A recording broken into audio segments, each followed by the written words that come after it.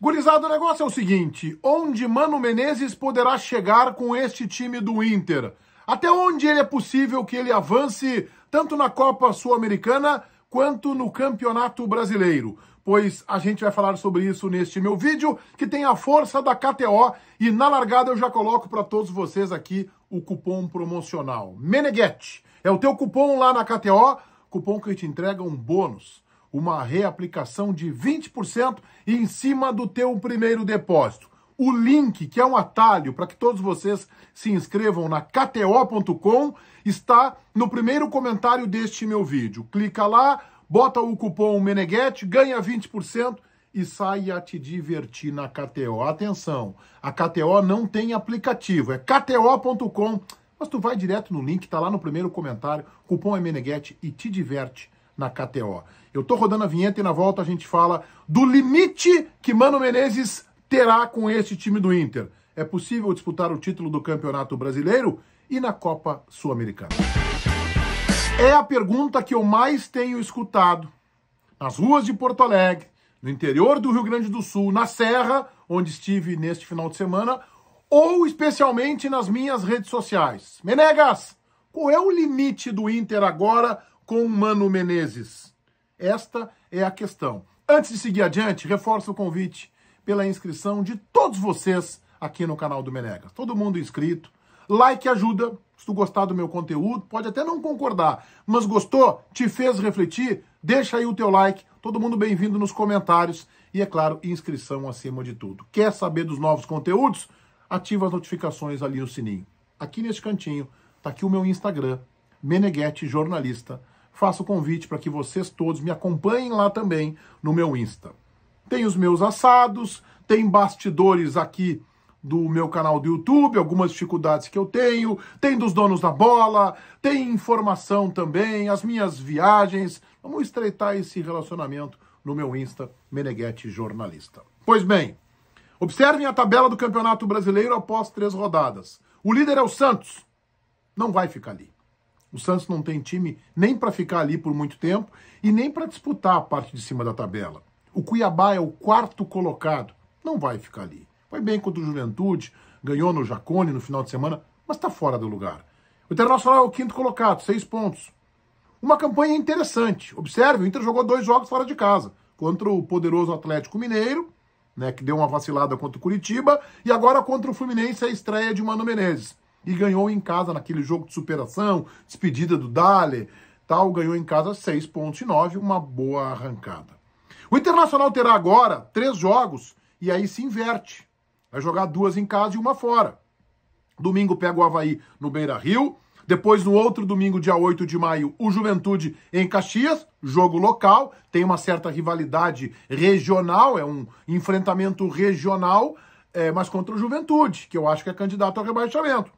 E depois, no domingo, dia 15 de maio, um jogo emblemático contra o Corinthians no estádio Beira Rio.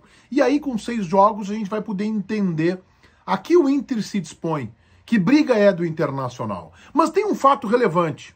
Até o Mano Menezes chegar, eu tinha a expectativa de o Internacional lutando do décimo para baixo lutando para, quem sabe, permanecer na primeira divisão do futebol brasileiro. A chegada do Mano Menezes e a mudança que a direção fez no departamento de futebol, entregando as chaves do vestiário para o diretor técnico Paulo Autuori, para o treinador Mano Menezes, e tendo um papel ainda secundário, mas relevante, do diretor executivo William Thomas, que fez um bom trabalho no Atlético Paranaense, mas com quatro meses no Havaí não vinha lá muito bem, teve rejeição da torcida, foi muito contestado, mas será uma figura muito mais da burocracia do que conceitual do futebol, que está entregue a Autuori e a Mano Menezes, o Inter conseguiu reverter essa expectativa. A chegada do Mano, a gente observa, ela transformou o ambiente no estádio Beira Rio, que era de pressão, num ambiente agora saudável. E aí ele começa com vitória. Ora, se o Mano tiver um resultado positivo nesta terça-feira, amanhã, pela Copa Sul-Americana contra o Independente Medellín, jogo fora de casa na Colômbia, ele reforça ainda mais a expectativa. Ainda que o empate seja um resultado minimamente aceitável desse jogo. Eu já falo mais de Copa Sul-Americana. Mas respondendo diretamente à pergunta a qual esse vídeo se propõe. O Internacional, na minha compreensão, passa agora com o Mano Menezes a lutar no primeiro pelotão, na primeira página do Campeonato Brasileiro, ou seja, entre os 10, com boas possibilidades de efetivamente competir por uma vaga à próxima Libertadores da América. O que antes do campeonato eu não conseguiria imaginar. Disputa do título? Acho muito improvável. Não acho impossível, mas acho bem improvável e não acho que esta seja a realidade do Internacional. A não ser que o Mano encaixe muito bem esse time e que esse, essas apostas, numa amostragem pequena, estão dando um bom resultado, confirme o alemão está indo muito bem. O Carlos De Pena fez um baita jogo no Maracanã. O Wanderson, ainda desembocado sem ritmo, também entrou bem. Então, se essas apostas começarem a confirmar e o Mano encaixar esse time, aí o céu é o limite. Agora, na realidade, o Inter briga para estar entre os 10, primeira página do Campeonato Brasileiro, com boas possibilidades de efetivamente disputar uma vaga à próxima Libertadores da América, o que antes da competição iniciar não se imaginava. Na Copa Sul-Americana é um torneio, o Inter não está na posição confortável, mas também não está longe de se classificar. E eu lembro, dos quatro, apenas um vai adiante, os outros três serão eliminados. O Inter teria que vencer o jogo desta terça na Colômbia contra o Independente Medellín. Empatar obrigará o Internacional a três vitórias contra o Guairenha, na outra quinta-feira, dia 5 de maio, fora de casa, no Paraguai. Contra o próprio, e principalmente esse jogo contra o próprio Independente Medellín, 17 de maio. Teria que obrigatoriamente vencer esse jogo. E depois, o dia 24 de maio, um jogo mais fácil, última rodada, contra o 9 de outubro no Beira Rio. Se o Inter empatar, tem que vencer esses três jogos. Se o Inter ganhar, Poderá aí talvez ter um tropeço, um empatezinho contra o Guairenha, embora seja desnecessário, né, projetar um empate. Bom, passada a primeira fase, aí é mata-mata, fase traiçoeira, mas não há um bicho papão.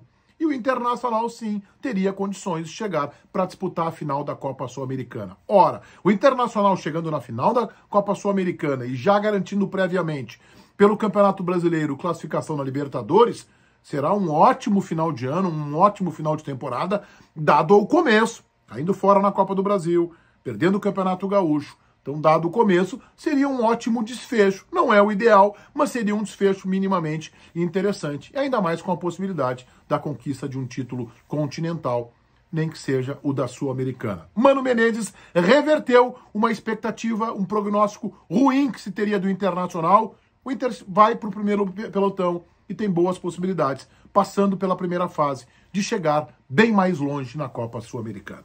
Se inscrevam no meu canal, ativem as notificações. Se gostarem dos meus vídeos, valendo aí o like. Meu Insta, Meneghetti Jornalista, todo mundo lá, hein? Vamos me acompanhar lá, tem muita coisa legal lá. Tem informação também do Meneghetti Jornalista, agora todo mundo kto.com, cupom promocional Meneghetti, que entrega um bônus de 20%. kto.com, baita cada de apostas. Feitoria gurizada. Vai um abraço.